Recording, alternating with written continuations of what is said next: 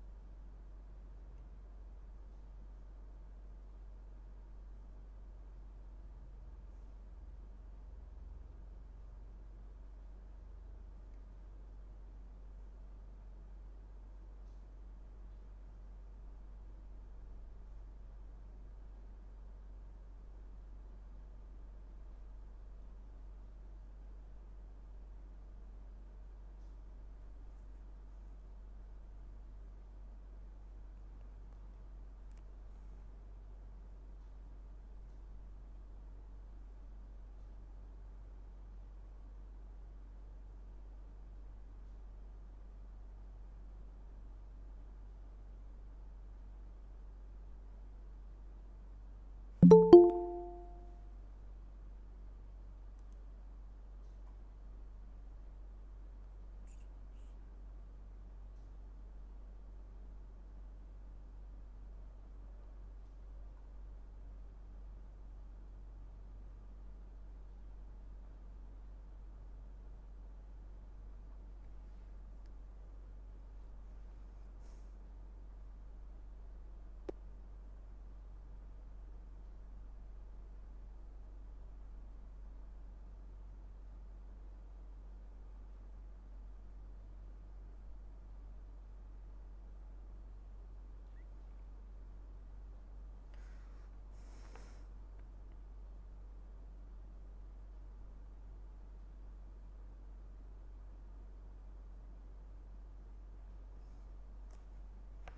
នឹងហើយគ្នាយើងទាំងអស់គ្នាដែលដែរ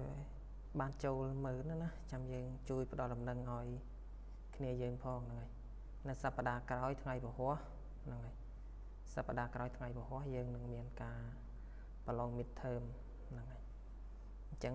ជួយជម្រាបដំណឹងដល់មិត្តភ័ក្តិយើងហ្នឹងមិត្តភ័ក្តិយើងដែលគាត់អត់បានដឹងលោកគ្រូមេរៀនលោកគ្រូដាក់ឲ្យខ្ញុំបើកបានទេ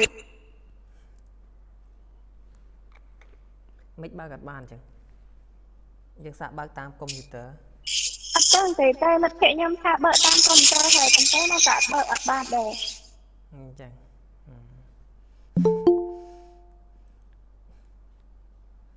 លោកគ្រូសាកទម្លាក់ម្ដងទៀតបានអត់ហ្នឹងហើយចាំមើលខ្ញុំសាកទម្លាក់ម្ដងទៀតដាក់អាមេតូចជាងនេះមកលោកគ្រូដាក់អាមេតូចចុះបើមេរៀនយើងវែងយើងដាក់មេតូចដូចកាត់អញ្ចឹងតែកាត់ នៅមានមិត្តភ័ក្ដិយើងថាបើកបានហ្នឹងនេះខ្លីខ្លីលោកគ្រូលោកគ្រូបើកបានធម្មតាតែលោកគ្រូអត់មានបើកអត់បានហ្នឹងហ្នឹងហើយមានហ្នឹងហើយយើងជួយប្រាប់ពីវិធីសាស្ត្រនៃការបើកឲ្យចេញណាមិត្តភ័ក្ដិយើងមួយចំនួនហ្នឹងគាត់ថាបើកអត់ឃើញនឹងយើងប្រឡងគឺយើងប្រឡងម៉ោងដំបូងហ្នឹងហើយសំណួរតិចទេហើយសៀសំណួរស្រួលស្រួលសិតតែយើងទាំងអស់គ្នាសឹកចេះចេះអស់ហើយ លោកគ្រូជួយប្រាប់ពុទ្ធផ្ដាស់បើជិះមកខ្ញុំបើបានអូមែនអត់ទុកធំផងអូ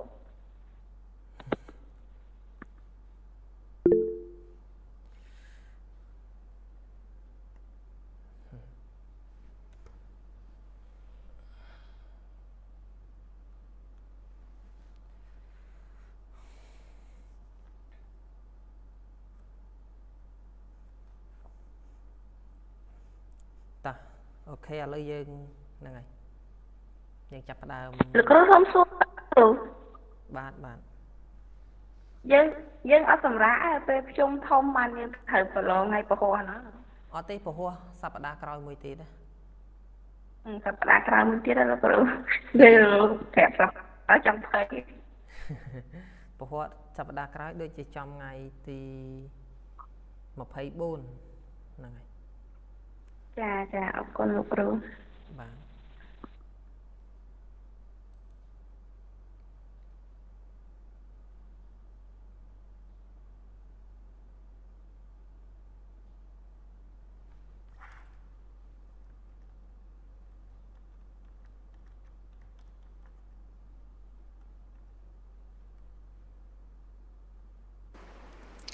អត់ទោសលោកគ្រូអាមេរៀនដែលលោកគ្រូបរៀននេះគ្រូ សិនអោយហើយណាលោកគ្រូអូខ្ញុំសិនអោយហើយបាទហ្នឹងហើយយើងអាចឆែកបាទអរគុណគ្រូបាទ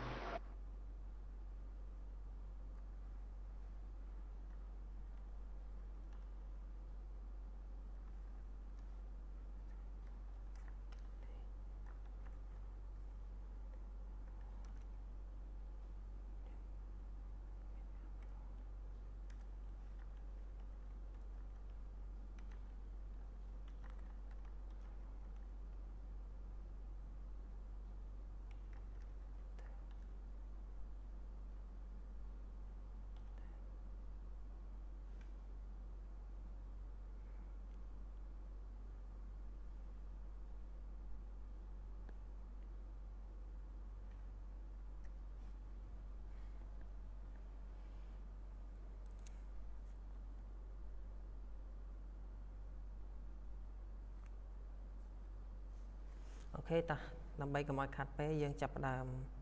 បន្តមេរៀនយើងទៀតតកតងទៅនឹងហ្នឹងហើយបញ្ហាសេដ្ឋកិច្ចហ្នឹងហើយបញ្ហាសេដ្ឋកិច្ចនាសម័យបុរាណហើយក្នុងថ្ងៃនេះយើងចូលដល់ផ្នែកហ្នឹងហើយផ្នែកមួយផ្នែកទៀតហើយតកតងទៅនឹងវិស័យឧស្សាហកម្មហ្នឹងហើយហ្នឹងហើយរំលឹកមេរៀនហ្នឹងហើយ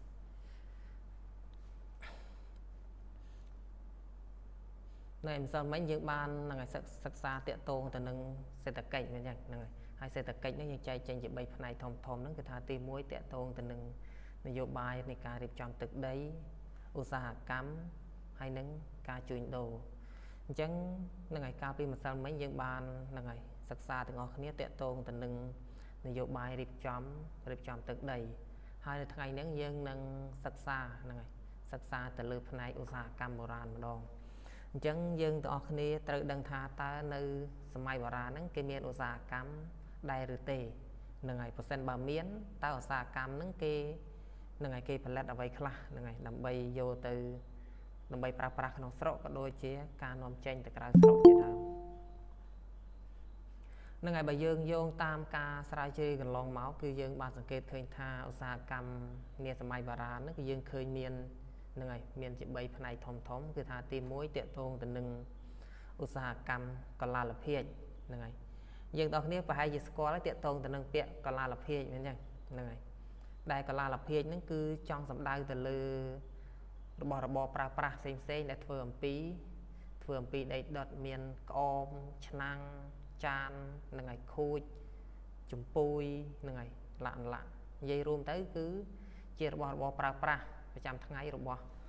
របស់មនុស្សនាសម័យបុរាណដែលធ្វើអំពីធ្វើអំពីដីដុតហ្នឹងហើយហើយតកតងទៅនឹងទី2នឹងគឺថាតកតងទៅនឹងឧស្សាហកម្មខាងផ្នែកលោហៈហ្នឹងហើយខាងផ្នែកលោហៈហើយនឹងទី3គឺតកតងទៅនឹងអំបិលហ្នឹងហើយបញ្ហាជួញដូរអំបិលហ្នឹងហើយដោយសារអំបិលហ្នឹងបើយើងគិតទៅ គឺថាជាទំនិញហ្នឹងហើយជាទំនិញមួយដ៏សំខាន់នាសម័យបុរាណ ឥឡូវយើងទៅលេខទៅមើលតាកតងទៅនឹងឧស្សាហកម្មបុរាណតាកតងទៅនឹងកលាលភាជហ្នឹងហើយនឹងជាកលាលភាជហ្នឹងហើយខ្ញុំដាក់ជារូបភាពខ្លះខ្លះដើម្បីយើងងាយយល់តាកតងទៅនឹងធោហ្នឹងហើយជាប្រភេទធោយើងឃើញមានធោគឺថាមានរូបរាងច្រើនបែបច្រើនយ៉ាងណាហ្នឹងហើយដែលរបស់ទាំងអស់ហ្នឹងគឺថាផលិតដោយដៃមនុស្សហ្នឹងហើយដោយដៃមនុស្សហ្នឹងហើយមិនប្រើគ្រឿងចាក់ហ្នឹងហើយ ហ្នឹងហើយអញ្ចឹងតើមានកលាលភាជយើងត្រូវដឹងថាតើកលាលភាជទាំងអស់ហ្នឹងគេហ្នឹងហើយគេទៅដុតនៅឯណាអញ្ចឹងហ្នឹងហើយបើយើងធ្វើកលាលភាជបានហើយអញ្ចឹងគឺថាវាតកតងទៅនឹងការដុតអញ្ចឹងហើយបានយើងសង្កេតឃើញថានាសម័យបុរាណហ្នឹងគឺថាយើងមានជាកន្លែងដុតកលាលភាជហ្នឹងគឺឡហ្នឹងហើយឡបុរាណហ្នឹងហើយដែលតាមរយៈការសិក្សាស្រាវជ្រាវកន្លងមកគឺថាគេបានរកឃើញឡជាច្រើននៅក្នុង នៅក្នុងតំបន់អង្គរក៏ដូចជា នៅតាមជើងភ្នំកលែនហ្នឹងហើយនៅតាមជើងភ្នំកលែនហើយឡដុតកលាលភាជហ្នឹងមិនមែនមានត្រឹមតែនៅស្រុកខ្មែរយើងទេហ្នឹងហើយសំបីតែទៅខាងស្រុកបរិយារ័មទៅខាងស្រុកលាវហ្នឹងហើយសុទ្ធសឹងតែមានហ្នឹងហើយឡដុតកលាលភាជហើយនឹងមានការប្រើប្រាស់កលាលភាជហ្នឹងរហូតមកដល់បច្ចុប្បន្នហ្នឹងដែលយើងបច្ចុប្បន្នហ្នឹងគឺថាការប្រើប្រាស់ហើយនឹងផលិតកលាលភាជហ្នឹងហើយដល់បច្ចុប្បន្នហ្នឹងគឺថា ហ្នឹងហើយជាទូទៅយើងឃើញមាននៅខេត្តកំពង់ឆ្នាំងវិញហ្នឹងហើយហ្នឹងហើយដែលមានការផលិតក្អមឆ្នាំងផ្សេងផ្សេងទៅហើយបើនៅក្នុងតំបន់អង្គរយើងហ្នឹងគឺយើងហ្នឹងហើយយើងអាចទៅមើលតាមផ្លូវ highway និងផ្លូវ highway ដែលបកត្រង់ទៅខេត្តរដូវមានជ័យហ្នឹងគឺថាមាននឹងឲ្យមានសិប្បកម្មមួយដែលផលិតផលិតកលាលភាជហ្នឹងបើយើងងាកទៅមើលតាក់ទងទៅនឹងឡហ្នឹងហើយឡនៅសម័យបារាណគឺថាមានឡច្រើននៅក្នុងតំបន់អង្គរ ប៉ុន្តែខ្ញុំសូមលើកតែឡមួយដែលហ្នឹងហើយដែលស្ថិតនៅខាងភូមិតានីហ្នឹងហើយភូមិតានីនៅខាងស្រុកប្រាសាទបាគងយ៉ាងហ្នឹងគឺថាហ្នឹងហើយតាមរយៈការសិក្សាស្រាវជ្រាវមកយើងបានឃើញអំពីរចនាសម្ព័ន្ធហ្នឹងហើយរចនាសម្ព័ន្ធនៃឡហ្នឹងហើយនៃឡដែលគេដុតកលាលភាជហ្នឹងអញ្ចឹងបើយើងក៏លេចមើលតាក់ទងទៅនឹងរចនាសម្ព័ន្ធនៃឡនេះយើងឃើញថាឡហ្នឹងគឺគេធ្វើនៅលើនៅលើដីទូលហ្នឹងហើយនៅលើដីទូល ធម្មជាតិក្តីបើកន្លែងណាដែលដីទំនាបគេចង់ធ្វើឡគេត្រូវលើកដីធ្វើជាទូលសិនហ្នឹងហើយធ្វើជាទូលសិនដើម្បីដើម្បីកុំឲ្យលិចទឹកហ្នឹងហើយកុំឲ្យលិចទឹកបើសិនបើទីកន្លែងណាដែលដីទូលស្រាប់ឬក៏តាមខ្នងទំនប់បុរាណពិសេសនៅមាននៅខាងលើភ្នំកលែតហ្នឹងនៅខាងថ្នល់មរិចក្តីហ្នឹងគេថាគេធ្វើឡនៅលើនៅលើក្នុងទំនប់ហ្នឹងហ្នឹងហើយ ចឹងហើយបើយើងមើលទៅគឺថាតាកតងទៅនឹងរចនាសម្ព័ន្ធរបស់ឡយើងឃើញតាមរយៈការធ្វើកំណាយតាមបែបបុរាណវិជាហ្នឹងហើយនៅឡតានីនេះយើងបានឃើញរូបរាងនៃឡច្បាស់ទី1គឺយើងឃើញអានេះយើងហៅថារន់ខ្យល់មិនចឹងនេះរន់ខ្យល់ហើយនឹងមានកន្លែងកន្លែងដុតអុសហ្នឹងហើយកន្លែងដុតអុសពីរនៅសងខាងហើយមាន មានរុនសម្រាប់ខ្យល់ចេញចូលនៅចំកណ្ដាលនឹងមួយហើយនៅផ្នែកនេះយើងហៅថា យើងហៅថាគប់ភ្លើងហ្នឹងហើយគប់ភ្លើងកន្លែងដែលគេរុញអស់បញ្ចូលហើយភ្លើងឆេះហ្នឹងហើយភ្លើងឆេះហើយមកខាងលើមកយើងឃើញឡគឺថាមានចម្រៀលហ្នឹងហើយចម្រៀលពីទៀបទៅខ្ពស់ហេតុអីបានគេធ្វើឡពីទៀបទៅខ្ពស់ហ្នឹងហើយគឺដើម្បីឲ្យកម្លាំងខ្យល់បក់ហ្នឹងគឺអាចមានកម្លាំងបក់ច្រានភ្លើងឡើងឡើងមកដល់ផ្នែកខាងលើនេះនឹងមកដល់ផ្នែកខាងលើដើម្បីឲ្យនឹងហើយដើម្បីឲ្យកម្ដៅនេះដល់ដល់កលាលភាពដែលគេដាក់នៅខាងក្នុងនឹង នឹងហើយដែលយើងឃើញរាងមូលមូលនេះរាងមូលមូលហ្នឹងគឺជាសសរហ្នឹងហើយជាសសរដែលធ្វើអំពីដីហ្នឹងហើយដែលធ្វើអំពីដីអិតមកនឹងតាមពិតទៅបើជាឡគឺថាមានសសររាងមូលនឹងឡើងលើហើយគឺមានប្រក់ដំបូលហ្នឹងហើយមានប្រក់ដំបូលគ្របពីលើចិត្តណាគ្របពីលើចិត្តប៉ុន្តែដោយសារអាយុកាលទៅគឺថាឡនឹងត្រូវបានបាក់ខូចខាតអញ្ចឹងទៅយើងនៅសល់តែស្នាមសសរចំនួន1 2 3ចំនួន4សសរហ្នឹងហើយយើងដែរឃើញដំបូលទូកទេ ដំបូលទូកនេសាទហ្នឹងហើយគឺអរូបភាពនៃឡដំបូលឡគឺដូចគ្នាអញ្ចឹងរាងកោងពិតចូលក្នុងដូចដូចដំបូលទូកអញ្ចឹងហ្នឹងហើយ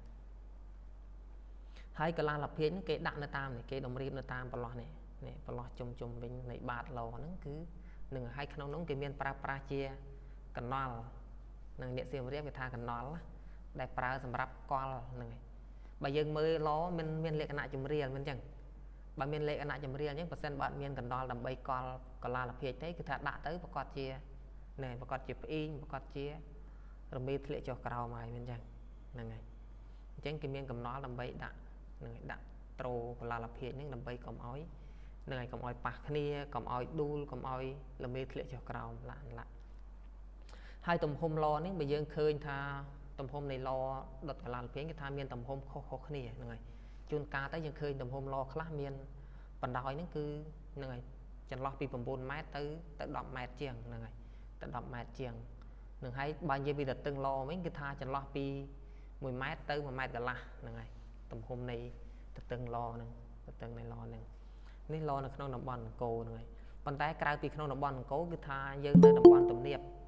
តានៀបយើងនៅខាងជើងឯកហ្នឹងហើយយើងទាំងអស់គ្នាប្រហែលជាស្គាល់ហើយជើងឯកហ្នឹងហើយដែលជាអតីត ទីវាលវិឃាតហ្នឹងហ្នឹងហើយជើងឯកនៅខាងខេត្តកណ្ដាលហ្នឹងគឺថាហ្នឹងហើយតាមរយៈការសិក្សាស្រាវជ្រាវហ្នឹងគេបានរកឃើញនៅឡដូចគ្នាប៉ុន្តែឡនៅជើងឯកហ្នឹងគឺថា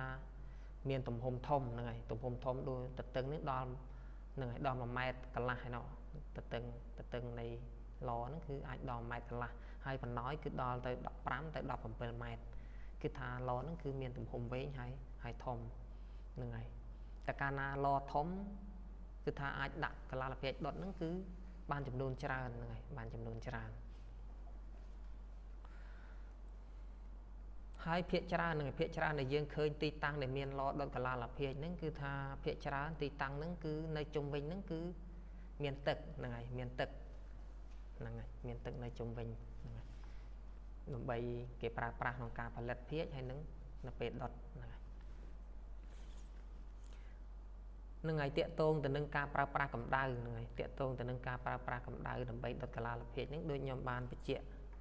ហ្នឹងហើយការពីម្សិលមិញម្ដងហើយថាតកតងទៅនឹងកលាលភាជ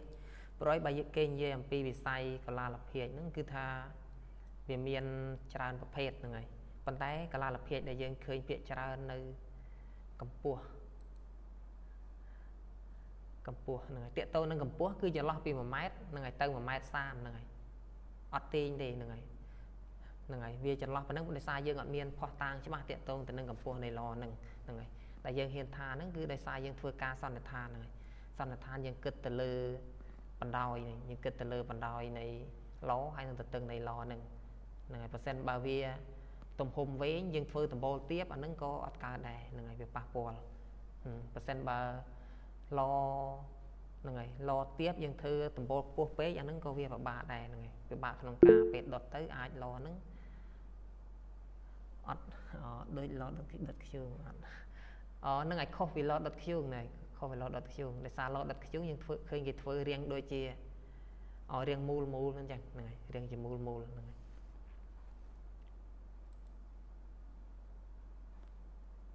ហើយឯឡដុតកលាលភាពហ្នឹងគឺរៀងជាត្រូវែងហ្នឹងហើយបានន័យថាអតតឹងតូចជាងបណ្ដោយឧទាហរណ៍ឡហ្នឹងគឺថាបណ្ដោយចន្លោះពី1ម៉ែត្រទៅ1ម៉ែត្រ2 1ម៉ែត្រ2ទឹកហើយ អតតឹងសំតោតតឹងរីឯបណ្ដោយគឺ9ម៉ែត្រហ្នឹងហើយ9ម៉ែត្រទៅដល់10ម៉ែត្រចន្លោះប៉ុណ្ណឹងនឹងឲ្យតាកតងទៅនឹងមិញនិយាយដល់តាកតងទៅនឹងការប្រើប្រាស់សីតុណ្ហភាពដើម្បីដុតកលាលភាពហ្នឹងគឺថានឹងមកយើងនិយាយតែពីស្រុកខ្មែរយើងគឺថាការផលិតកលាលភាជនៅស្រុកខ្មែរយើងហ្នឹងគឺយើងឃើញជាទូទៅមានពីរប្រភេទហ្នឹងហើយដែលគេឲ្យឈ្មោះថាប្រភេទ stone wear ហើយនិង earthen wear ដែលប្រភេទ stone wear ហ្នឹងគឺថាជាសីតុណ្ហភាពសំទោសជាយើងហៅថាកលាលភាជរឹងមិនបានហៅថាកលាលកលាលភាជរឹងដោយសារគេដុតប្រើប្រាស់កម្ដៅកម្ដៅហ្នឹងគឺហ្នឹងហើយចាប់ជីមកចាប់ពី1000អង្សាឡើងហ្នឹងហើយ1000អង្សាឡើងអានឹងមិនន័យថាកលាលភាជហ្នឹងគឺថាទៅជារឹងខ្លាំងហ្នឹងហើយរហូតដល់ភាជខ្លះរឹងដូចជារឹងដូចតែជាថ្មហ្នឹងហើយដូចតែជាថ្ម រីឯប្រភេទអឺដិនវីនេះយើងហៅថាភាជផុយហ្នឹងហើយភាជភាជផុយហ្នឹងគឺថាប្រើកម្ដៅហ្នឹងហើយចន្លោះត្រឹមតែ800អង្សាឡើងតិចតួចទេហ្នឹងហើយហ្នឹងហើយហើយតកតងទៅនឹងការប្រើប្រាស់កលាលភាជហ្នឹងគេប្រើប្រាស់ដើម្បីអ្វីហ្នឹងហើយគឺថាការប្រើប្រាស់កលាលភាជហ្នឹងគឺថាតកតងទៅនឹងជីវភាពរស់នៅប្រចាំថ្ងៃរបស់នឹងហើយរបស់មនុស្សនាសម័យនឹងផងគឺថាតកតងទៅនឹង តកតងទៅនឹងសាសនាផងហ្នឹងហើយហើយកលាលភាជក៏ជាវត្ថុនឹងជាវត្ថុឬក៏ជារបស់មួយសម្រាប់ដាក់តាំងលម្អនៅក្នុងនឹងនៅតាមផ្ទះនឹងនៅតាមផ្ទះលាក់លាក់អញ្ចឹងទៅអញ្ចឹងហើយបើយើងឃើញមានកលាលភាជខ្លះមានរាងជាមុខមនុស្សមែនទេហ្នឹងហើយរាងជាមុខមនុស្សទៅកលាលភាជខ្លះរាងដូចជារូបនៃរូបមនុស្សដែរតែរាងមុខ4អញ្ចឹងទៅហ្នឹងហើយហើយនេះតម្លាប់តម្លាប់ហ្នឹងហើយ ហើយនេះជាប្រភេទធោដូចគ្នាហ្នឹងហើយគឺថានៅសម័យហ្នឹងគេថាប្រភេទធោហ្នឹងវាមានច្រើនប្រភេទហ្នឹងហើយមានច្រើនប្រភេទ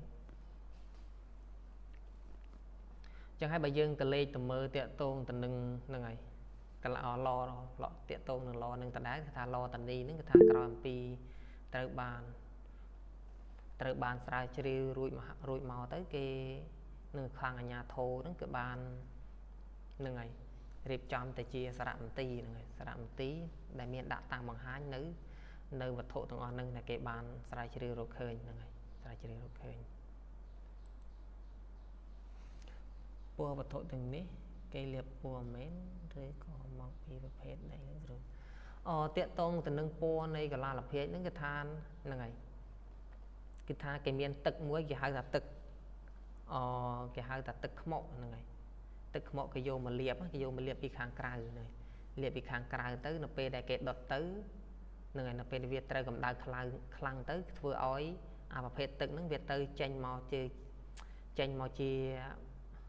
ដូចយើងហៅថាជាសទួបរលោងណាដោយសារនឹងពេលយើងមើលកលាលភេទទៅវាមានចាំងចាំងវិញហ្នឹងហើយដោយសារគេលាបអាទឹកខ្មុកហ្នឹងពីពីខាងក្រៅនៃភេទហ្នឹងហើយតាកតងទៅនឹងភេទទៀតគឺថាហ្នឹងហើយវាអាចតាកតងទៅនឹង បើពុំធ្វើមែនអត់បើពុំហ្នឹងគឺផលិតដោយដៃហ្នឹងហើយនាសម័យបារាណហ្នឹងគឺផលិតដោយដៃដោយគេមានប្រើប្រាស់ជានឹងគេហៅថាតនិលហើយនឹងត្រនះហ្នឹងហើយតានិលហ្នឹងគឺគេនៅពេលដែលគេធ្វើភាជគេថាតានិលគេដាក់នៅខាងក្នុងឧទាហរណ៍គេចង់ធ្វើក្អមទៅគេលុកដៃកាន់តានិលពីខាងក្នុងទៅគេយកតានេះវាយពីខាងក្រៅហ្នឹងបើគេចង់បានជាប្រភេទក្អមប្រភេទឆ្នាំងគេយកនឹងឲ្យវាយឲ្យចេញជារូបរាងរបៀបហ្នឹង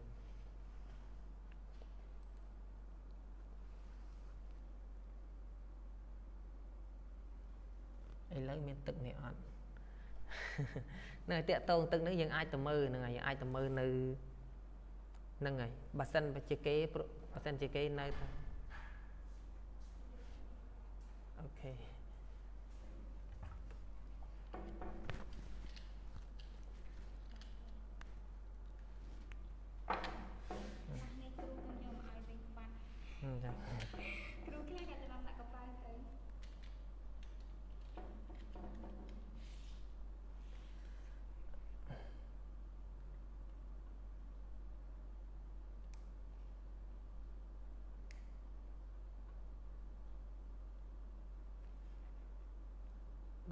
6ហើយចាជាប់មកអ្នកក្នុងអอฟហ្វិសមកបងចេញមកអូខេអរគុណបាទនឹងឲ្យតាកតងទៅនឹងទឹកហ្នឹងគឺថានឹងឲ្យចំពោះកន្លែងដែលគេផលិតកលាលភាគឺថាគេនៅមានប្រើប្រាស់ហ្នឹងហើយនៅមានប្រើប្រាស់គ្រាន់តែមកដល់បច្ចុប្បន្នហ្នឹងគេអាចមានហ្នឹងហើយ គេមានបច្ចេកទេសអីថ្មីទៀតអានឹងចាំយើងហ្នឹងហើយពិនិត្យបន្ថែមទៀតហ្នឹងហើយ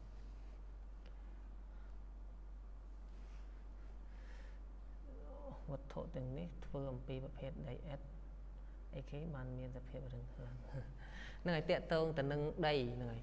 តកតងទៅនឹងដីដែលគេយកមកធ្វើហ្នឹងគឺជាប្រភេទដីអិតហ្នឹងហើយហើយជាប្រភេទដីអិតហ្នឹងគេមានលាយទៀតហ្នឹងហើយ គេមានលាយជាប្រភេទយើងហៅថាដី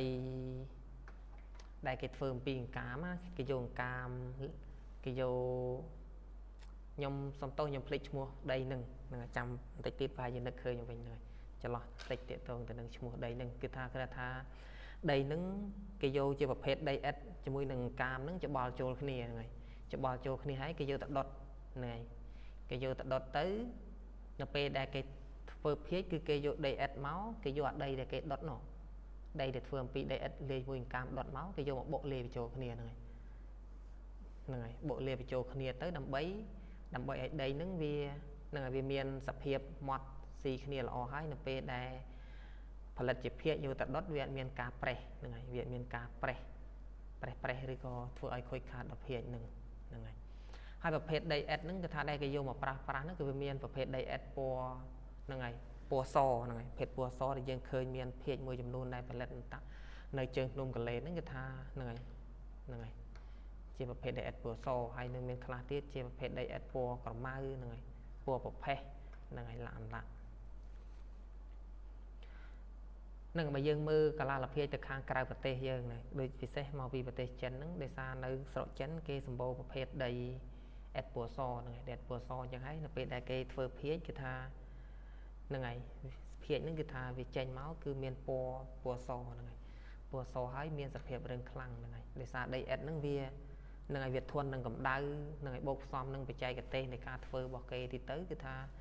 នឹងដូចយើងមើលទៅគឺថាយើងឃើញថាកលាលភេទដែលមកពីចិនពាក់ច្រើនមានពណ៌សហើយមានសភាពរឹងខ្លាំងដែលយើងហៅថាសេឡាដុងអញ្ចឹងហ្នឹងហើយសេឡាដុងឬក៏ពប៉សឡែនហ្នឹងហើយប៉សឡែនដែលមានពណ៌រាងសសហ្នឹងហើយ រីឯបើយើងនិយាយទៅករណីនៅស្រុកខ្មែរយើងហ្នឹងគឺថាភាជមានតែពីរភពមានតែពីរពណ៌ទេ គឺមានប្រភេទភាជពណ៌ត្នោតហើយនឹងហើយនឹងពណ៌បៃតងហ្នឹងហើយពណ៌បៃតងពីរពណ៌ហ្នឹង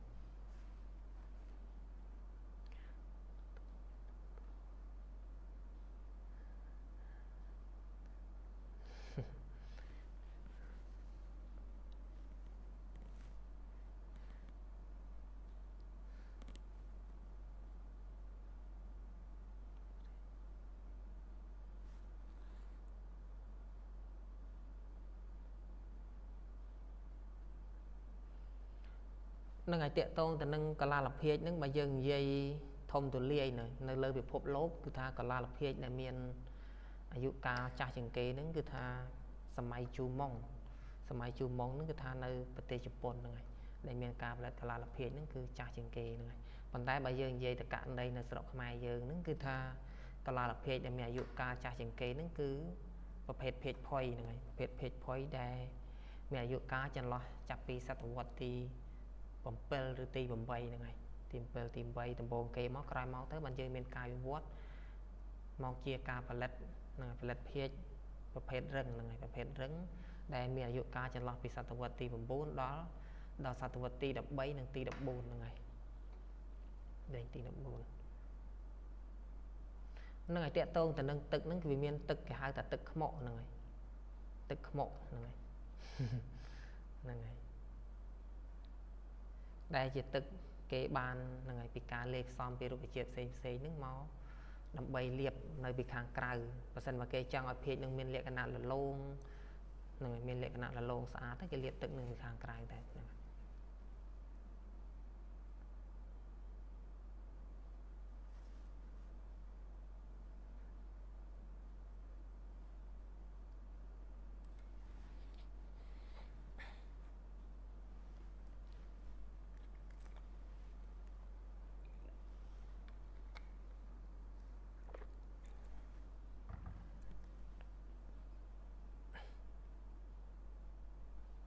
នេះតកតងទៅនឹងប្រភេទនឹងប្រ ភេទកលាលភាពផ្សេងផ្សេងហ្នឹងហើយដូចនេះយើងហៅតឡាប់ហ្នឹងហើយតឡាប់ហៅផើងហ្នឹងនេះយើងហៅយើងហៅអីគេនេះបើយើងបច្ចុប្បន្នយើងហៅអីគេកំសៀវមិនអញ្ចឹងហីប៉ុន្តែនេះវានៅតែក្នុងយើងហៅថាជាប្រភេទធោដដែលហ្នឹងហើយប្រភេទធោទឹកនឹងផ្សំពីសារធាតុអ្វីខ្លះ នឹងឲ្យតកតងទៅនឹងទឹកនឹងគឺថានឹងឲ្យផ្សំពីរុក្ខជាតិផ្សេងផ្សេងហ្នឹងហើយប៉ុន្តែតកតងទៅនឹងសារធាតុផ្សំហ្នឹងសំទោសខ្ញុំអត់បានលំអិតទៅលើរឿងហ្នឹងហ្នឹងហើយចាំមើលខ្ញុំទៅពិនិត្យហ្នឹងហើយពិនិត្យឯកសារឡើងវិញចាំខ្ញុំជម្រាបនៅពេលក្រោយហ្នឹងហើយ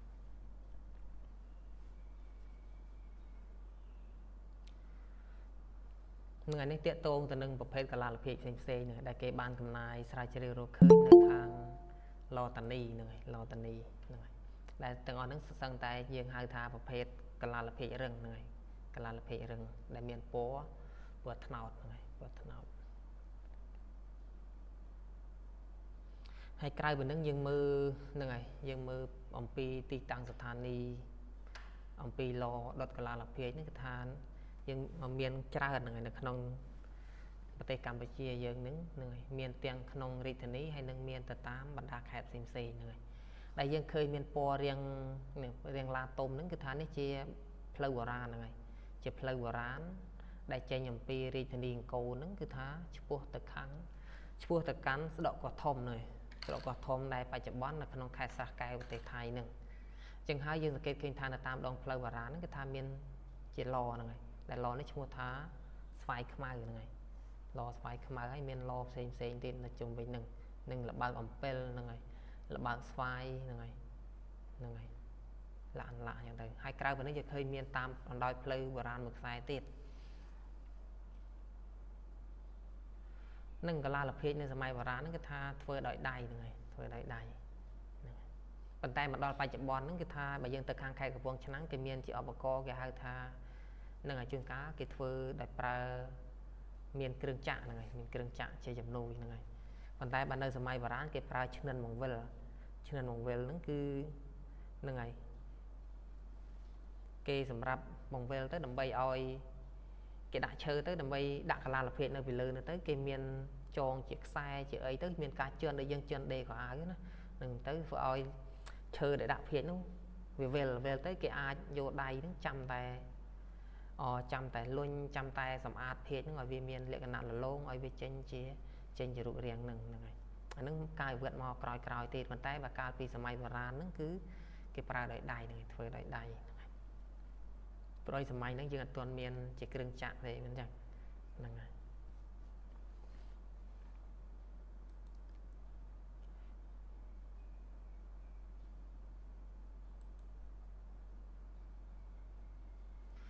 នឹងហើយហើយក្រៅពីនឹងតាមបណ្ដោយផ្លូវបុរាណមួយខ្សែទៀតដែលយើងឃើញចេញពីរាជធានីអង្គរដូចគ្នាឆ្ពោះទៅកាន់ខេត្តភិម័យហ្នឹងឆ្ពោះទៅកាន់ខេត្តភិម័យប្រទេសថៃប្រទេសថៃបច្ចុប្បន្នគឺយើងឃើញមានហ្នឹងហើយស្ថានីយ៍ឡដុតកាឡាលភេកហ្នឹងច្រើនហ្នឹងហើយនៅក្នុងខេត្តដ៏មានជ័យហ្នឹងហ្នឹងហើយហើយក្រៅពីនឹងយើងមាននៅក្នុងហ្នឹងហើយនៅក្នុងបរិវេណនៃទីក្រុងយើងហ្នឹងហើយដែលជារាជធានីហ្នឹងគឺថាមានឡច្រើនហ្នឹងហើយ ដែលទីមានឡបាកោងហ្នឹងហើយឡបាកោងដែលស្ថិតនៅតាមបណ្ដោយនៃស្ទឹងនៃស្ទឹងរលុះហ្នឹងហើយហើយក្រៅពីនឹងមានឡសស័យហ្នឹងហើយឡទឹកលិចឡអន្លងធំហ្នឹងហើយហើយក្រៅពីនឹងទៅជើងភ្នំកលែនហ្នឹងគឺថាមានឡហ្នឹងហើយមានឡថ្នល់មរិចលាក់លាក់អញ្ចឹងទៅច្រើនហ្នឹងហើយនេះតកតងទៅនឹង ហ្នឹងហើយតកតងទៅនឹងទីតាំងនៃឡបុរាណហ្នឹងហើយបើយើងសង្កេតមើលមួយទីទៅគឺថាទីតាំងដែលគេធ្វើឡហ្នឹងគឺថា គឺនៅក្បែរទៅនឹងផ្លូវបុរាណមិនចឹងហ្នឹងហើយហេតុអីបានគេធ្វើនៅក្បែរផ្លូវហ្នឹងហើយគឺដើម្បីងាយស្រួលក្នុងការក្នុងការដឹកជញ្ជូនហ្នឹងហើយក្នុងការដឹកជញ្ជូនហើយតកតងទៅនឹងការប្រើប្រាស់កលាលភាពនាសម័យបារាណហ្នឹងគឺថាហ្នឹងហើយមានកលាលភាពមួយចំនួនគឺយើងបាននាំចូលពីខាងស្រុកចិនហ្នឹងហើយ ខាងស្រុកចិនហើយនិងស្រុកជប៉ុនដែរហ្នឹងហើយដែលតាមរយៈផុសតាងដែលគេបានស្រាវជ្រាវរកឃើញកន្លងមកហ្នឹងគឺថាហ្នឹងហើយមានភាគខ្លះនៅក្នុងសម័យរាជវង្សសុងហ្នឹងហើយសម័យរាជវង្សថាំងហើយក្រោយមកទៅមានរាជវង្សឈីងលាក់លាក់អញ្ចឹងទៅដែលត្រូវបានគេនាំចូលមកប្រើប្រាស់នៅក្នុងនៅក្នុងស្រុកយើងនឹងពិសេសនៅក្នុងនៅក្នុងព្រះបរមរាជវាំងហ្នឹងហើយនៅក្នុងព្រះបរមរាជវាំង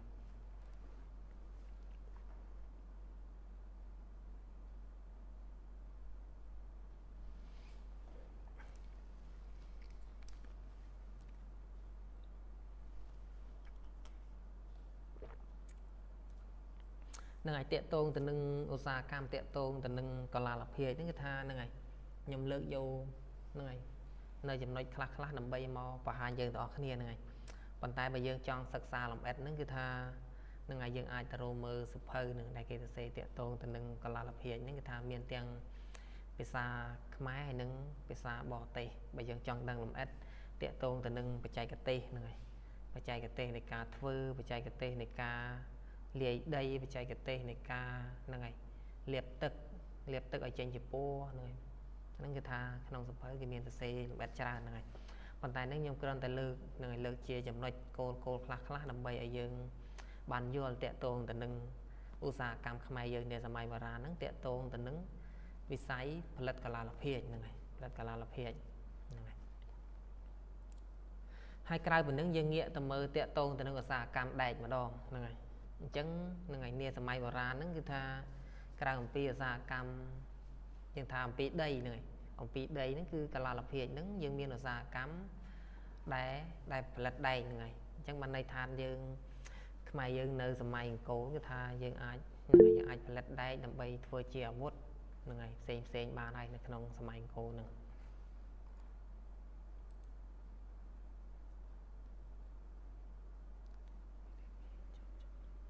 រៀនពីរបៀបចាប់ឈប់រៀនរៀនពីរបៀបចាប់ឈប់រៀនអត់យល់នឹងឲ្យយើងក៏លេខមកមើលតាកតងទៅនឹងឧស្សាហកម្មបុរាណតាកតងទៅនឹងដែកហ្នឹងហើយអញ្ចឹងបើយើងក៏លេខមើលជាទូទៅនៅក្នុងចក្រភពអង្គរយើងនាសម័យបុរាណហ្នឹងគឺថាយើងឃើញមានផលិតកម្មដែកហ្នឹងគឺចំនួន2ដែលសំខាន់សំខាន់ហ្នឹងគឺនៅខាងកើតនៅខាងកើតរាជធានីហ្នឹងហើយពិសេសទៅខាង បើកានហ្នឹងហើយដែលយើងស្គាល់ជាទូទៅថាប្រខណ្ឌកំពង់ស្វាយមិនចឹងហ្នឹងហើយដែលបច្ចុប្បន្នហ្នឹងស្ថិតនៅក្នុងស្រុកសង្គមថ្មីខេត្តខេត្តព្រះវិហារហើយនឹងតំបន់ភ្នំដែកហ្នឹងហើយដែលស្ថិតនៅក្នុងស្រុករវៀងខេត្តព្រះវិហារហ្នឹងហ្នឹងហើយហើយក្រៅពីហ្នឹងមាននឹងមជ្ឈមណ្ឌលផលិតកម្មពីរផ្សេងទៀតនៅ នៅខាងលិចខាងលិចក្រុងអង្គរយើងហ្នឹងហើយក្រៅពីហ្នឹងមានហ្នឹងហើយ កន្លែងផលិតមួយទៀតគឺនៅខាងពីយប់នៃក្រុងអង្គរយើងនេះដូចជា នៅខាងជើងភ្នំបូកហ្នឹងហើយនៅខាងជើងភ្នំបូកហ្នឹងគឺថាយើងបានស្រាវជ្រាវរកឃើញតកតងទៅនឹងទីតាំងហើយនឹងឡស្លដែកហ្នឹងហើយនឹងផោះតាំងមួយចំនួនតកតងទៅនឹងការផលិតដែកនាសម័យអង្គរ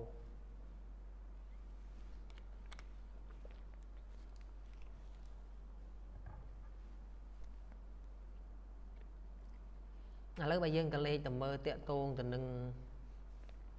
ទីតាំងនៅខាងប្រខណ្ឌកំពង់ស្វាយហើយនឹងខាងភ្នំដែកនេះគឺប្រាសាទប្រខណ្ឌកំពង់ស្វាយដែលយើងហៅថាប្រាសាទបាកានហ្នឹងហើយដែលយើងហៅប្រខណ្ឌកំពង់ស្វាយហ្នឹងគឺយើងនឹងហៅតាមបារាំងហ្នឹងហើយដោយសារបារាំងហ្នឹងប្រហែលជាគាត់ស្ដាប់ហ្នឹងហើយស្ដាប់សំនៀងអ្នកអ្នកនៅតំបន់នោះអត់យល់ទៅគាត់ថាប្រខណ្ឌកំពង់ប្រខណ្ឌហ្នឹងហើយ គេថាបកានប៉ុន្តែបារាំងស្ដាប់ឮថាបខានបខានណាប៉ុន្តែដើម្បីកុំឲ្យច្រឡំនឹងប្រាសាទបខាននៅតំបន់អង្គរអញ្ចឹងទៅដោយសារទឹកដីនេះពីមុនវាស្ថិតនៅក្នុងខេត្តកំពង់ស្វាយស្រុកកំពង់ស្វាយបច្ចុប្បន្នណាហ្នឹងហើយអញ្ចឹងទៅបារាំងក៏ដាក់ប្រខណ្ឌឲ្យកំពង់ស្វាយអញ្ចឹងទៅបានន័យថាប្រាសាទប្រខណ្ឌនៅនៅកំពង់ស្វាយហ្នឹងហើយដើម្បីកុំឲ្យច្រឡំកុំឲ្យច្រឡំជាមួយនឹងប្រាសាទប្រខណ្ឌនៅក្នុងនៅក្នុងតំបន់អង្គរយ៉ាងហ្នឹងហ្នឹងហើយ នឹងឲ្យយើងសង្កេតឃើញថានឹងឲ្យមានមណ្ឌលផលិតកម្មដែកចំនួន2ហ្នឹងគឺថានៅបកាននឹងមួយហើយនឹងនៅខាងភ្នំដែកនេះភ្នំដែកឃើញទេហ្នឹងបានន័យថាហ្នឹងហើយនៅទីតាំងនឹងសម្បូរទៅដោយទីកន្លែងនៃការស្លដែកនិងផលិតដែកហ្នឹងគឺថាដោយសារតំបន់ហ្នឹងគឺមានយើងហៅថាវត្ថុធាតុដើមហ្នឹងហើយវត្ថុធាតុដើមហ្នឹងគឺវត្ថុធាតុដើមដើម្បីផលិតដែកហ្នឹងហើយអញ្ចឹងនៅតំបន់ហ្នឹងគឺមានរ៉ែដែកហ្នឹងហើយ មានរ៉ែដែកហ្នឹងគឺថាដោយសារនៅកន្លែងហ្នឹងមានភ្នំមួយហ្នឹងហើយមានភ្នំមួយដែលយើងហៅថាភ្នំដែកហ្នឹងគឺមកពីលើភ្នំហ្នឹងគឺនឹងឲ្យមានរ៉ែដែកច្រើនហ្នឹងហើយអញ្ចឹងហើយបានជានៅតាមនៅជុំវិញភ្នំហ្នឹងគឺថាសម្បូរទៅដោយទីតាំងនៃការទីតាំងនៃឡដែលគេយកដែលគេស្លដែកហ្នឹងហើយស្លដែកហ្នឹងហើយតាកតងទៅនឹងទីតាំងណាទីតាំងឡដែលគេស្លដែកហ្នឹងគឺថាភាកច្រើនគឺនៅក្បែរបឹង នៅក្បែរស្រះនៅក្បែរស្ទឹង នៅក្បែរអូលាក់លាក់ហ្នឹងដោយសារនឹងឯការស្លដែកហ្នឹងគឺក្តៅហ្នឹងឯងក្តៅអញ្ចឹងហើយគឺថាត្រូវប្រើត្រូវការប្រើប្រាស់ទឹកហ្នឹងគឺច្រើនហ្នឹងឯងប្រើប្រាស់ទឹកនេះច្រើនបើយើងក៏លេខមកប្រខណ្ឌកំពង់ស្វាយយើងឃើញមាននេះជាហ្នឹងហើយប្រាសាទនៅកណ្ដាលហ្នឹងហើយមានកំពែងកសិនទឹកនេះពិតជំវិញហើយយើងឃើញមានផ្លូវនេះផ្លូវបារាណមួយខ្សែហ្នឹង គឺថាជាផ្លូវបារាណដែលភ្ជាប់អំពីរាជធានីអង្គរមកហ្នឹងហើយដែលជាផ្លូវបារាណចេញពីរាជធានីអង្គរមកកាត់មកដល់ប្រាសាទបេងមាលាហ្នឹងហើយដល់ប្រាសាទបេងមាលាហើយបានផ្លូវហ្នឹងបែកជាពីរហ្នឹងហើយបែកមកខាងកើតហ្នឹងគឺមកប្រខណ្ឌកំពង់ស្វាយហ្នឹងហើយបែកទៅខាងជើងហ្នឹងគឺទៅទៅកោះគេហ្នឹងហើយទៅកោះគេហើយនឹងទៅដល់ខាងវត្តភូហ្នឹងហ្នឹងហើយចាំទៅដល់តាកតងទៅនឹងផ្លូវបារាណខ្ញុំនឹងហ្នឹងហើយលំអិតបន្ថែមទៀត ហើយបើយើងមើលទៅគឺថានៅក្នុងតំបន់ហ្នឹងគឺថាក្រៅអំពីមានប្រភពរ៉ែដែកហើយគឺថានឹងឲ្យមានប្រព័ន្ធផ្លូវទឹកនឹងឲ្យប្រព័ន្ធផ្លូវទឹកហ្នឹងគឺច្រើននឹងឲ្យដែលជាលក្ខណៈអំណោយផលដល់ការដល់ការផលិតដែកហ្នឹងហ្នឹងហើយ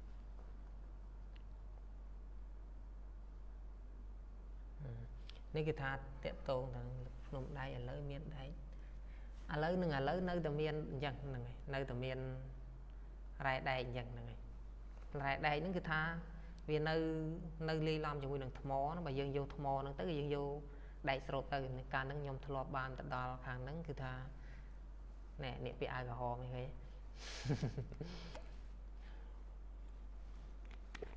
ហ្នឹងហើយពេលយើងទៅដល់ទៅគឺថាពេលយើងឡើងទៅលើភ្នំហ្នឹងទៅយើងយកហ្នឹងហើយមកដល់បច្ចុប្បន្នហ្នឹងហ្នឹងហើយ មិនដឹងថាយ៉ាងម៉េចដែរប្រហែលកាលទៅហ្នឹងយូរដែរណាហ្នឹងហើយអញ្ចឹងទៅគឺថានៅលើភ្នំហ្នឹងពេលយើងឡើងទៅយើងយកដែកស្រូបនឹងដែកស្រូបទៅយើងយកទៅដាក់ទៅគឺថាហ្នឹងហើយយើងរើសថ្មមកដាក់ទៅគឺថាហ្នឹងហើយវាស្រូបហ្នឹងធម្មតាទោះមានជាតិដែកខ្លាំងបានអាចស្រូបបានមិនចឹងនឹងបើយើងយកឈើទៅដាក់ដែកស្រូបតើស្រូបអត់យកថ្មទៅដាក់ដែកស្រូបស្រូបអត់គឺអត់ទេមិនចឹងតលតែដុំថ្មនោះមានជាតិដែកខ្លាំងហ្នឹងហើយមានជាតិដែកខ្លាំងហ្នឹងបាន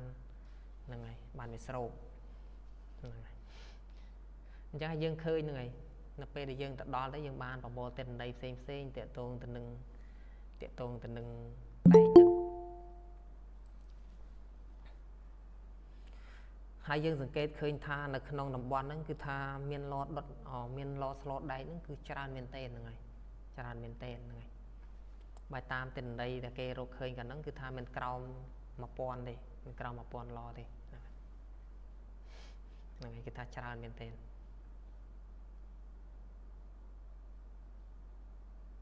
អូសុំទោសហ្នឹងហើយសុំទោសហ្នឹងហើយមិនមិនក្រោមនឹងវាតាក់តងទៅនឹងឡហ្នឹងគឺថាហ្នឹងហើយច្រើនហ្នឹងហើយរាប់រយឡឡើងទៅអញ្ចឹងនិយាយជាមធ្យមអញ្ចឹងចុះហ្នឹងហើយដោយសារក្រោយមកទៀតហ្នឹងគេមានការសិក្សាស្រាវជ្រាវបន្ថែមបន្ថែមទៀតប៉ុន្តែទើបតែគ្រាន់តែទិន្នន័យដែលគេផ្សព្វផ្សាយហ្នឹងអត់ទាន់បានហ្នឹងហើយអត់ទាន់បានច្បាស់ហ្នឹងហើយ ពីមុនគេបំបែកថ្មគេបំបែកគេបំបែកថ្មយកដៃយកដែកមានចឹងនរណាមានសារចិត្តដែរនឹងហើយតកតងទៅនឹងការស្លដែកនឹងតិចទៀតយើងទៅដល់យើងនឹងឃើញហើយហ្នឹងហើយយើងនឹងឃើញអំពីបច្ចេកទេសនៃការស្លដែកហ្នឹងហើយ ហ្នឹងហើយការស្លដែកនេះគេមិនមែនវាយវាយថ្មដើម្បីយកដែកទេហ្នឹងហើយដោយសារជាតិដែកហើយនឹងថ្មហ្នឹងគឺនៅលាយឡំជាមួយគ្នាអញ្ចឹងវិធីសាស្ត្រដើម្បីបានដែកហ្នឹងគឺគេយករ៉ែដែកហ្នឹងគឺយកទៅស្លនឹងឲ្យស្លដាក់លើចង្ក្រានទៅគេដុតភ្លើងពីខាងក្រោមហ្នឹងហើយដុតភ្លើងពីខាងក្រោមតែកាលណាត្រូវកម្ដៅខ្លាំងនឹងឲ្យថ្មដែលមានជាតិដែកហ្នឹងវាចាប់ដើមរលាយហ្នឹងហើយហ្នឹងហើយរលាយទៅវាហូរចេញណាហ្នឹងហើយ សារធាតុថ្មផ្សេងផ្សេងដែលមានជាតិដែកវាហូរចេញមកខាងក្រៅទៅរីឯនៅសល់នៅសល់ដែលជាតិជាតិដែកហ្នឹងគឺនៅក្នុងចក្រានហ្នឹងវាអត់ហូរចេញមកក្រៅទេហ្នឹងហើយ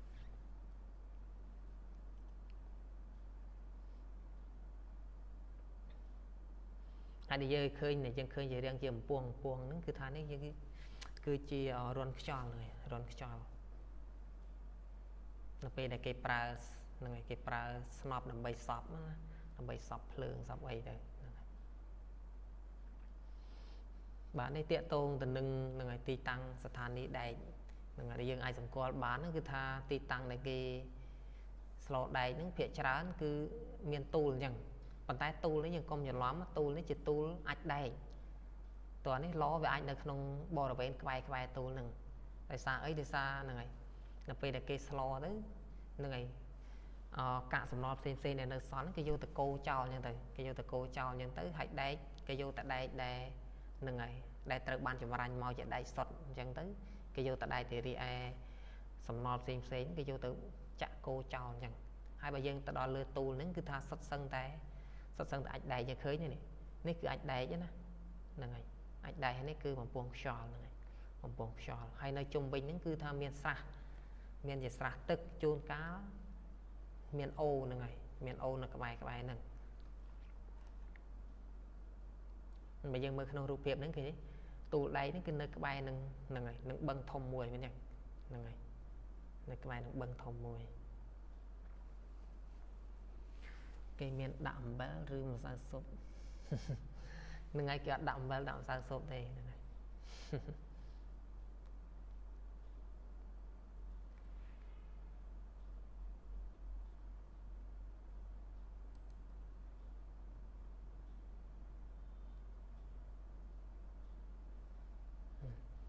នេះខ្ញុំគ្រាន់តែចង់បង្ហាញតកតងទៅនឹងនឹងឯទីតាំងនៃប្រាសាទបាកាហ្នឹងគឺថាឃើញមានជាកសិនទឹកពិតជំវិញមានប្រាសាទនៅកណ្ដាលហើយមានកសិនទឹកនៅក្នុងមួយជាន់ទៀតហើយមានជាបឹងធំមួយនិងបារាយបារាយធំមួយដែលមានប្រាសាទមេបុននៅចំកណ្ដាលហ្នឹងហ្នឹងហើយក្រៅពីនេះនៅជុំវិញក្នុងបរិវេណនៃទីក្រុងហ្នឹងគឺថាមានជាស្រះទឹកហើយមានជាបលាយមានជាអូហ្នឹងគឺហូរកាត់ហ្នឹងហើយហូរកាត់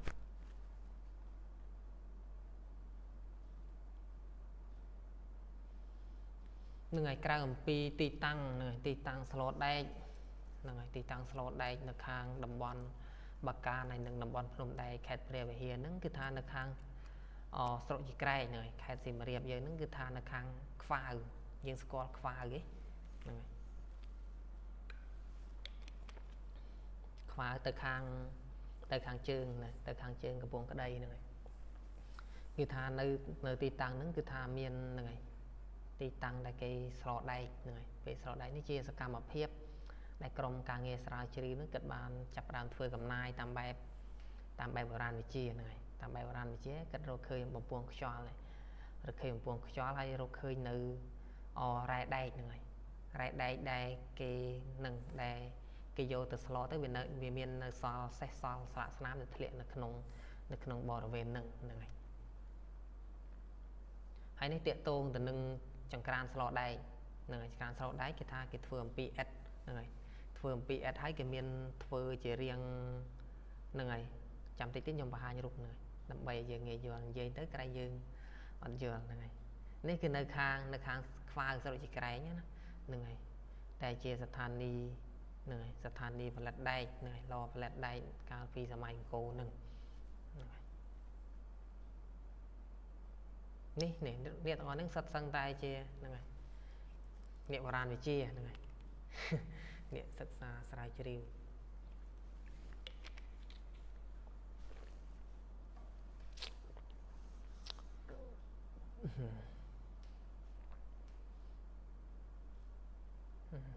នេះតកតងទៅនឹងហ្នឹងហើយស្ថានីយ៍ទីតាំងស្លោដែកនៅខាងលិចតំបន់អង្គរយើងនេះនឹងយើងឃើញនេះយើងឃើញនេះជាអាចដែកណាហ្នឹងហើយ នៅពេលដែលវាហូរមកទៅវាហូរចេញមកខាងក្រៅទៅនៅវានៅសល់រូបរាងអញ្ចឹងឃើញទេហ្នឹងហើយនៅសល់រូបរាងអញ្ចឹងហើយនេះជាបំពង់ខ្យល់ហើយបំពង់ខ្យល់តិចច្រឡំឃើញអាចដែកហ្នឹងថាជាហ្នឹងហើយថាជារ៉ែស្អីស្អីជាមាសជាអីហ្នឹងហើយអត់ទេហ្នឹងជាអាចដែកហ្នឹងហើយដែលជាហ្នឹងហើយដែលត្រូវនៅពេលដែលគេយកវាទៅស្លទៅហ្នឹងហើយ សំណល់សាកធាតុផ្សេងផ្សេងដែលពុំមែនជាដែកហ្នឹងវាហូរចេញមកក្រៅហ្នឹងហើយវាហូរចេញមកក្រៅដែលយើងហៅថាអាចដែកមិនចឹងហ្នឹងហើយជាសំណល់ដែលសល់ពីដែកហ្នឹងហ្នឹងហើយអញ្ចឹងហើយរាល់ចង្ក្រានស្លដែកហ្នឹងគឺថានៅពេលដែលគេស្លដែកហើយគឺគេត្រូវវាយចង្ក្រាននោះចោលហ្នឹងហើយគេវាយចង្ក្រាននោះចោលហើយដើម្បីគេគេយកដែកចេញមកខាងក្រៅរបស់មានតម្លៃហ្នឹងហើយរបស់មានតម្លៃ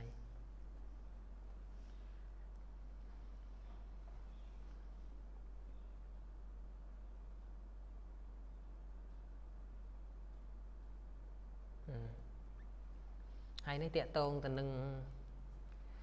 អហ្នឹងហើយលោស្រោដៃដូចគ្នានៅខាងស្រុកសៀមហ្នឹងនៅខាងស្រុកសៀមនេះដែលយើងឃើញជារៀងនេះហ្នឹងហើយរៀងហ្នឹងហើយរៀងដូចជារៀងមូលបន្តិចហ្នឹងហើយរៀងដូចជាអសអុយបន្តិចហ្នឹងជា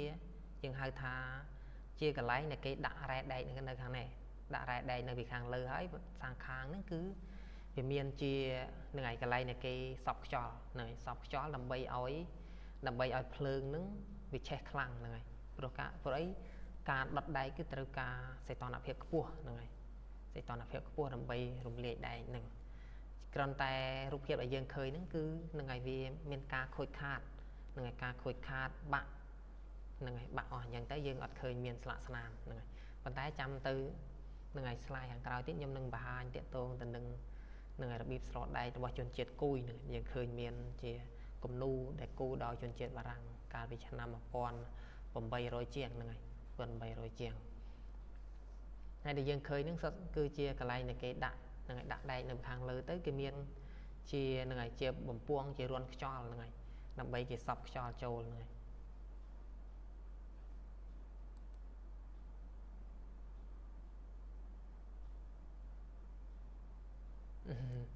អាហ្នឹងលក់អត់កើតទេហ្នឹងហើយលក់អត់កើតទេអត់មានអ្នកទិញណាមួយវាបើយើងគិតទៅវាខុសច្បាប់ហ្នឹងហើយព្រោះនឹងជាស្លាកស្នាមដែលយើងហៅថាជាស្លាកស្នាមជាសំណល់បុរាណហ្នឹងហើយសំណល់បុរាណដែលបង្ហាញអំពីអតីតកាលរបស់នឹងបព្វបរោះយើងនាសម័យបុរាណហ្នឹងដែលគាត់ហ្នឹងហើយបើយើងគិតទៅនឹងជាសម្បត្តិជាតិហ្នឹងហើយសម្បត្តិជាតិហ្នឹងហើយ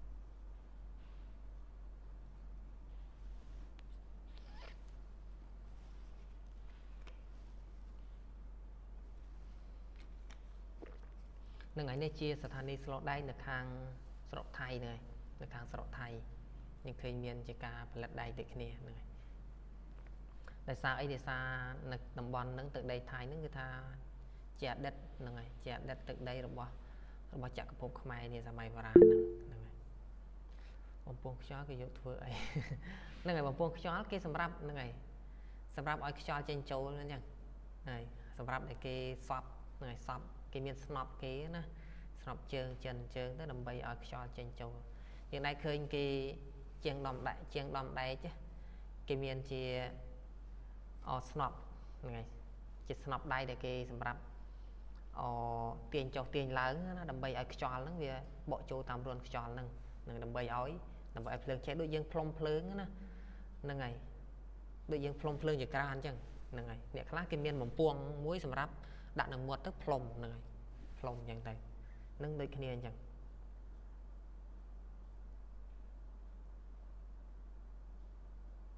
ហ្នឹងហើយធ្វើឲ្យកើនកម្ដៅដោយកាលណាភ្លើងយើងអត់សូវឆេះយើងផ្លុំតែកាលណាផ្លុំទៅភ្លើងមិនចាប់ដើមឆេះខ្លាំងអញ្ចឹងនឹងនេះតកតងទៅនឹងហ្នឹងហើយការឆ្លោតដៃរបស់ជាតិជាតិសំទោសជាប់មាត់តកតងទៅនឹងការផលិតដែកនិងការឆ្លោតដែករបស់ របស់ជនជាតិគួយនឹងហ្នឹងហើយរបស់ជនជាតិគួយដែលយើងឃើញមាននៅខាងប្រខណ្ឌកំពង់ស្វាយហ្នឹងគឺថានៅកំឡុងឆ្នាំរុករុកខាងលើហ្នឹងគឺថានៅកំឡុងឆ្នាំ1888ហ្នឹងហើយ1888ហើយខាងនេះគឺថានៅចន្លោះឆ្នាំ1926ហ្នឹងហើយអញ្ចឹងបានន័យថានឹងឲ្យការផលិតដែកនៅក្នុងស្រុកខ្មែរយើងដោយជនជាតិគូយហ្នឹងគឺថានៅមានបន្តរហូតមកដល់ឆ្នាំនេះបានយើងមានបារាំងអមានរូបថតរបស់បារាំងនៅសល់ហ្នឹង ប៉ុន្តែក្រោយមកដោយសារហ្នឹងហើយបារាំងបាននាំចូលដែកហ្នឹងហើយនាំចូលដែកពីខាងស្រុកគេមកអញ្ចឹងទៅធ្វើឲ្យនឹងឲ្យការផលិតដែកនៅស្រុកខ្មែរយើងនៅជនជាតិគួយនេះចាប់ដើមនឹងចាប់ដើមធ្លាក់ចុះហ្នឹងហើយដោយសារតកតងទៅនឹងបញ្ហាទីផ្សារហ្នឹងហើយបញ្ហាទីផ្សារពិបាកប្រកួតប្រជែងជាមួយនឹងរបស់នាំចូលអត់បានអញ្ចឹងណាក្រោយមកទៅគឺថាការផលិតដែកហ្នឹងគឺលែងមានការផលិតហ្នឹងហើយ នឹងបើយើងមើលទូទៅតាកតងទៅនឹងកន្លែងដែលគេស្លោដែកនឹងបើយើងមើលតាមរូបហ្នឹងគឺថាហ្នឹងហើយគេមានជារោងមួយអញ្ចឹងគេធ្វើជារោងមួយដែលគេធ្វើអំពីឈើមានប្រក់ជាស្បូវជាអីនៅពីខាងលើអញ្ចឹងទៅហើយនៅខាងក្នុងហ្នឹងហើយនៅខាងក្នុងយើងឃើញជាចង្ក្រានស្លោដែកយើងឃើញទេនេះនេះស្នប់នេះដោយសារពីមុនគេប្រើនឹងដៃនឹងមានជើងជន់ទៅណែយើងឃើញមានឈើនេះបានន័យថាគេទាញសពហ្នឹងហើយសពដើម្បីឲ្យ នឹងដើម្បីឲ្យខ្យល់ចូលទៅធ្វើឲ្យភ្លើងឆេះកាន់តែខ្លាំងហ្នឹងហើយឆេះកាន់តែខ្លាំងហើយនេះគឺហ្នឹងហើយកន្លែងដែលគេពហុអាចដែកចេញហ្នឹងហើយពហុអាចដែកចេញមកខាងក្រៅហ្នឹងហើយដល់ពេលដែលហ្នឹងហើយដល់ពេលដែលហ្នឹងហើយរ៉ែដែកដែលគេយកមកដាក់ស្លហ្នឹងវារលាយអស់ទៅដែកនឹងដែលនៅសល់ជារ៉ែដែកនៅសល់ជាសំទោសនៅសល់ជាដែកសុទ្ធហ្នឹងគឺវាធ្លាក់ចុះមកក្រោមធ្លាក់ចុះមកក្រោមទៅនៅពេលដែលគេហើយទៅគេវាយចង្ក្រាននេះចោលហ្នឹង គេវាយចង្ក្រាននេះចោលទៅ បានគេយកដែកនោះចេញហ្នឹងហើយបានគេយកដែកនឹងចេញអញ្ចឹងហើយបានយើងឃើញនេះនេះយើងឃើញនេះយើងឃើញដែកនៅសល់គឺបាតទេនេះបាតខាងក្រោមនៃនៃចង្ក្រានស្លូតដែកហ្នឹងណាហ្នឹងហើយនឹងដែកដែកធ្លាក់មកគឺនៅនឹងហ្នឹងហើយរីឯរូបភាពនៃឡហ្នឹងគឺត្រូវបានគេវាយចោលហ្នឹងហើយគេវាយចោលទាំងស្រុងហ្នឹងហើយ នេះជារបៀបនៃការសពគ្រាន់តែយើងបច្ចុប្បន្នយើងឃើញជាងដំដែកដែលគេដំដែកគេមានជាស្នប់ដៃមិនអញ្ចឹងនឹងស្នប់ដៃគេមានដែករៀងកបោលមិនអញ្ចឹងតែគេមានស្នប់ទាញដៃចុះឡើងចុះឡើងដើម្បីឲ្យភ្លើងឆេះហ្នឹងហើយប៉ុន្តែពីមុនគេប្រើជើងនេះប្រើជើងហើយនឹងដៃដើម្បីទាញសពអញ្ចឹងទៅហើយក្រៅពីនឹងឃើញថានៅក្នុងការផលិតដែកហ្នឹងគឺគេមានការហ្នឹងហើយមានតំណមមានជាគ្រូ បាអាចារ្យដែលគេត្រូវធ្វើកិច្ចវិធីហ្នឹងហើយ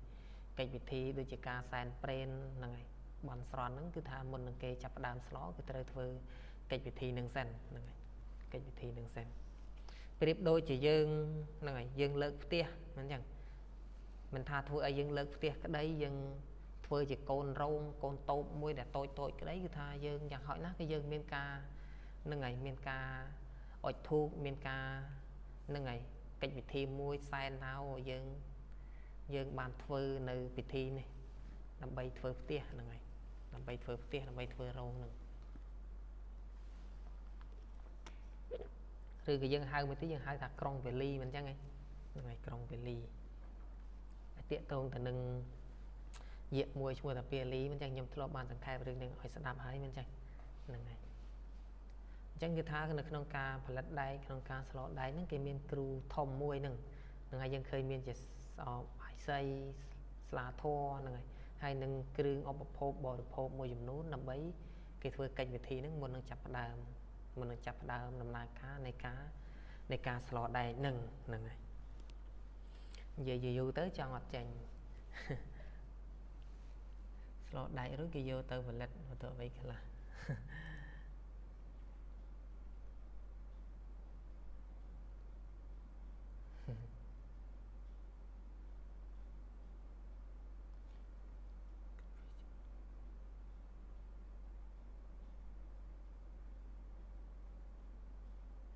នឹងហើយគឺគេនឹងហើយក្រោយពីគេធ្វើឲ្យគេយកដៃឲ្យគឺគេវាយចោលហ្នឹងហើយបើគេចង់ផលិតគេធ្វើម្ដងទៀតអញ្ចឹងទៅហ្នឹងហើយតាកតងកំណត់នៃការស្លដែកហ្នឹងគឺថានឹងហើយវាមានដំណើរការវិវត្តហ្នឹងគឺថាវែងឆ្ងាយណាស់យើងមើលតាំងពីសម័យបុរេប្រវត្តិសាស្ត្រមានអញ្ចឹងដែលយើងឃើញមានយកដែកហ្នឹងដែកចន្លោះដែលយើងរកឃើញនៅក្នុងតំបន់អង្គរហ្នឹងគឺថានៅបាសីចាំក្រុងយើងហ្នឹងគឺថាការបោះឆែតហ្នឹងគឺថា អាយុកាលហ្នឹងគឺថាចន្លោះពីអ500ឆ្នាំមុនគ្រិស្តសករាជដល់500ឆ្នាំនៃនៃគ្រិស្តសករាជអញ្ចឹងគំនិតនៃការផលិតដែកគឺថាមានតាំងពីសម័យមុនប្រវត្តិសាស្ត្រទៅទៀតតាំងពីសម័យយើងហៅថាយុគដែកដែលជាយុគមួយស្ថិតនៅក្នុងសម័យបុរេប្រវត្តិសាស្ត្រហ្នឹងហើយអញ្ចឹងហើយគ្រាន់តែថាចំណេះដឹងនៃការធ្វើហ្នឹងគឺថាមានតតគ្នាមករហូតហ្នឹងហើយតតគ្នាមករហូត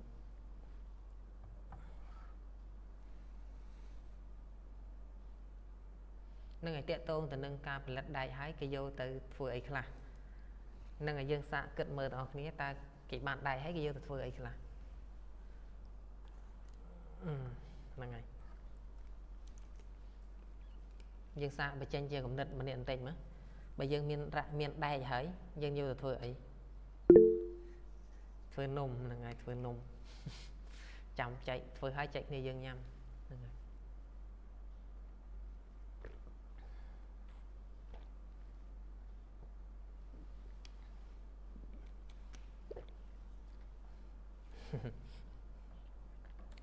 នឹងហើយបើយើងមើលទៅលើផោះតាងផ្សេងផ្សេងហ្នឹងហើយតាមផោះតាងផ្សេងផ្សេងដែលមានបង្ហាញនៅតាមចម្លាក់ហ្នឹងចម្លាក់កឡោតទៀបនៅតាមជញ្ជាំងនៃប្រាសាទបាយ័នយើងឃើញមានច្រើនមិនចឹងយើងឃើញមានកំមិតយើងឃើញមានពុទ្ធៅឃើញមានញញូឃើញមានដែកស្បែង